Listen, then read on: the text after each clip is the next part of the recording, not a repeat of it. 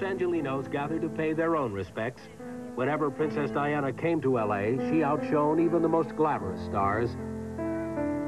And on Saturday, perhaps the only other person on the planet who is as famous, made a rare public appearance. In honor of my friend who is no longer here, thank you. I love her. Paparazzi-hunted celebrities in the world is adding his voice to the battle against the tabloids today.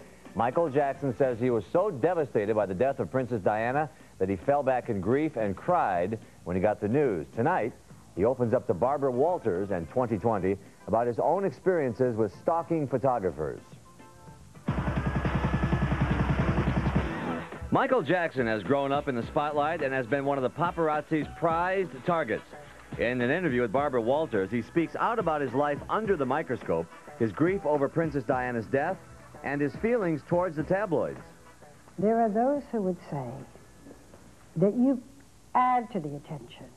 The way you dress, the way you look, it invites attention. You don't think that calls the paparazzi to you? No, I don't. Well, the masks, the the mysterious behavior. There's no, there's no mysterious behavior. In 1987, Jackson fought back with his best tool, a song, written expressly for the press that hounded him. Ten years later, he contends nothing has changed. There's a time when I give a concert, I like to have as many people want to come can come and enjoy the show. And there's a time where you want to, you like to be in private when you put on your pajamas, go to sleep, cut off the light, ding, and lay down. That's your private space.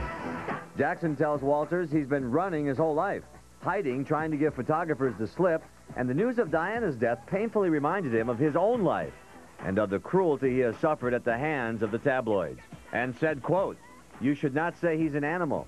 You should not say he's Jacko. I'm not Jacko, I'm Jackson. I have a heart and I have feelings, and I feel that when you do that to me, it's not nice. Don't do it. I'm not a wacko. Jackson confesses he was forced to sell his baby's photos to the tabloids to avoid being stalked by photographers, and he says he has tried to create the privacy he is unable to attain. You go in the park. I can't go in the park. So I create my own park at Neverland, my own water space, my movie theater, my theme park. That's all for me to enjoy, to be private.